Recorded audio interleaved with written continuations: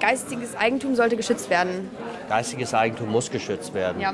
Gerade in Europa haben wir das Problem, aber auch in Amerika, dass geistiges Eigentum eigentlich das Einzige ist, was uns übrig bleibt. Wenn man alles wegnimmt, ist das geistige Eigentum das Einzige, was wir mit nach Hause nehmen und was wir jeden Morgen wieder in die Firma reintragen.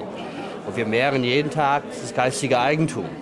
Wir mehren vielleicht jeden Tag auch noch unseren Wohlstand, aber wir mehren auf jeden Tag das geistige Eigentum von uns, von der Firma, aber auch von den Leuten, die wir sehr gern haben und mit denen wir gerne zusammenarbeiten.